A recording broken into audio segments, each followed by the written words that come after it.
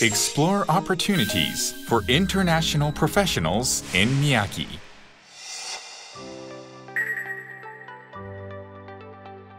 Miyagi is the economic center of the Tohoku region in Japan.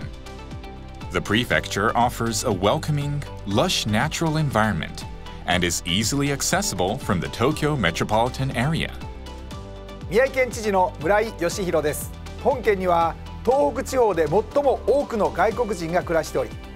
国際化が進んでいます。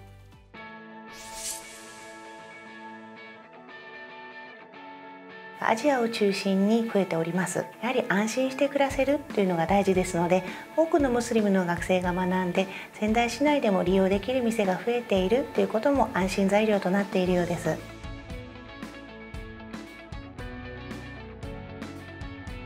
日本講座を運営しているほか外国人が安心して医療や公的サポートを受けられるよう通訳サポーターの紹介も行っています。ぜひ安心して宮城県に来ていただきたいと思います。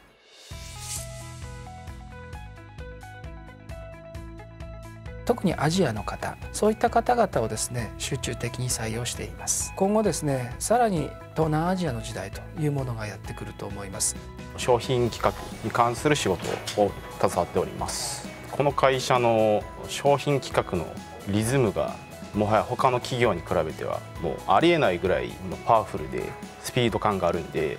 もうものすごい経験ができるっていう会社っていうことが特徴かなと思いますね。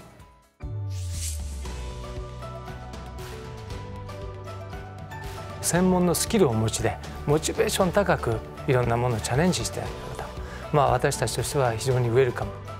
Of course working at Philips、uh, means、uh, being at the front line of uh, digital transformation and digital uh, disruption Miyagi has great potential for development in the future. We look forward to welcoming skilled international professionals from overseas.